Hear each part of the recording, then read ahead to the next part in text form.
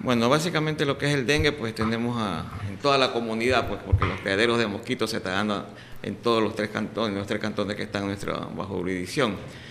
En pasajes, pues tenemos 27 casos reportados, reportados. No tenemos eh, cuantificado los casos porque de una u otra forma se hacen atender de una manera privada el usuario, el paciente. Hemos, hemos hecho unos cronogramas de, de fumigación en conjunto con los, dirigentes barriales, los que nos han, nos han acudido a los llamados que hemos hecho, pero básicamente estamos recomendando es que se hagan mingas, unas mingas en la mañana, no con el fin de, retirar malezas, de retirar basura, con el fin de retirar criaderos de mosquitos, los reservorios, que son los depósitos donde el agua limpia, porque el mosquito es una de agua limpia, entonces crecen las larvas y ahí se reproducen para poder comenzar a infectar a los, a pacientes, a los, a los habitantes de la comunidad. Claro, aparte de la fumigación que se hace de puerta en puerta, pues también este, ellos tienen que educar a la comunidad, darle charlas de prevención y que si presentan un síntoma, pues acudir directamente a un centro de salud y no automedicarse.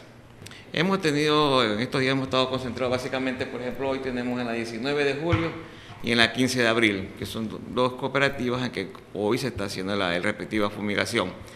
De ahí se ha hecho un cronograma para la próxima semana también en, las parroquias, que se va a comenzar por parroquias. Tenemos primero que vamos a iniciar en Progreso.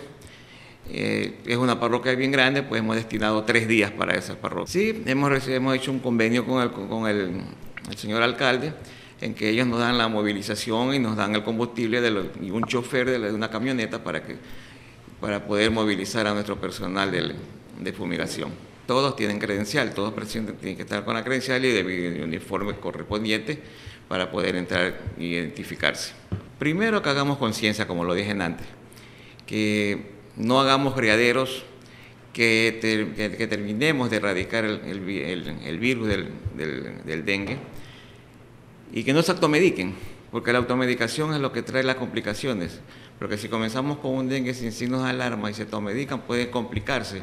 Entonces ahí es lo mejor es que los primeros síntomas, pues acudir al centro, acercarse aquí a la dirección distrital para coordinar con, con la persona que, lleva la, la gestión de lo que es este, la, la, la erradicación de la, del mosquito.